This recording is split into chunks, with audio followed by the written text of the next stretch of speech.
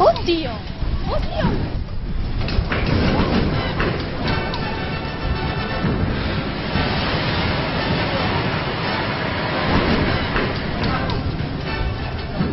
E questo è il mio locale che dal giorno, la notte del 20 maggio è, è rimasto chiuso e inagibile sia come abitazione e sia come attività sotto, che era un po' casa e bottega.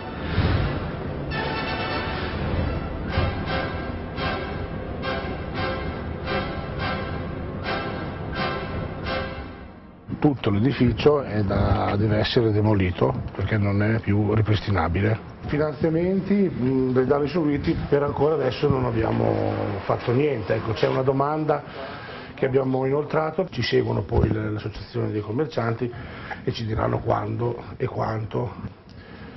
Lì eh, un comignolo è caduto, ha forato il tetto della veranda e Qui adesso abbiamo già un po' pulito, ma vedete i resti di tre tavoli che sono stati completamente sbriciolati ed erano già apparecchiati per il giorno dopo. Ecco. Solo pensare che a mezzanotte c'erano ancora dei clienti, è avvenuto tutto nella, appunto, in quei 20 secondi che è durata la scossa del terremoto, dovuto appunto a spostamenti delle faglie del terreno, hanno creato dei movimenti, delle compressioni che queste sabbie hanno, sono uscite in uh, forma liquida, le automobili sono state sollevate dalle sabbie e schiacciate contro il soffitto per dire la forza di fuoriuscita di queste sabbie che è durata pur solo qualche secondo.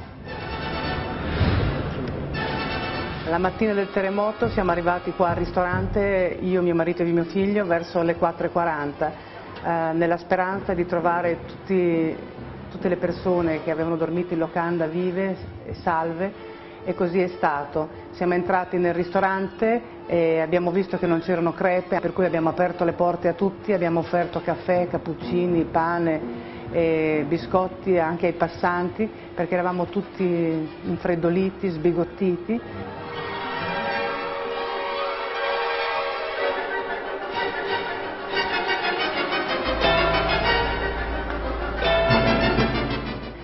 Verso le 11 abbiamo messo un grande tavolo sotto al portico e abbiamo cominciato a dare pane, salame prosciutto e anche pasti caldi, tutto gratuitamente fino a quando la protezione civile però in seguito ad un'ulteriore scossa delle 11.38 ha chiuso acqua e gas. La scuola di cucina attualmente non è eh, ancora funzionante e i corsi li faccio solamente eh, al di fuori della, del paese.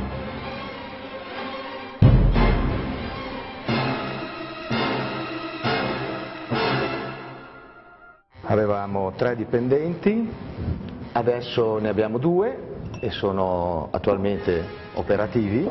Abbiamo chiuso il giorno del terremoto, il 29 maggio, non abbiamo avuto grossi danni, qualche pezzo di intonaco, bottiglie cadute. Abbiamo riaperto il 26 giugno e siamo entrati operativi diciamo, a tutti gli effetti anche se la, il centro era praticamente inagibile quasi.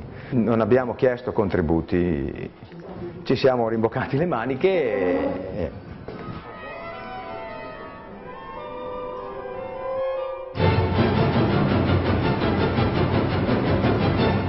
siamo ancora a 100, il terremoto si è sentito moltissimo, abbiamo chiuso l'attività per una settimana eh, perché c'era tutto il centro storico chiuso, era tutta zona rossa, la chiesa aveva subito molti danni, abbiamo riaperto dopo una settimana, il martedì dopo, il personale ha scelto di stare in ferie perché la situazione era tragica, ha capito bene la situazione, io non ho chiesto aiuti a nessuno perché pensavo ci fosse gente messa peggio di me, di grazia che io avessi ancora il negozio e ci siamo aiutati a vicenda.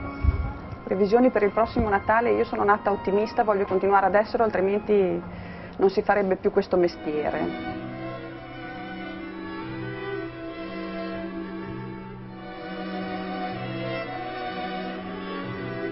Il grosso danno a Ferrara è stato la mancanza per diversi mesi di un turismo. È stato procurato un allarmismo tale che di fatto, anche giustificatamente, le, il turista non è più venuto a Ferrara. Ora stiamo vivendo una fase eh, in cui vediamo un movimento positivo, il turista sta ritornando e eh, comincia ad avere una propensione al consumo e a visitare la città. I pubblici esercizi hanno subito cercato di reagire eh, di dare un messaggio positivo, di eh, rimboccarsi le maniche, soprattutto con operazioni di marketing e di ritornare alla normalità.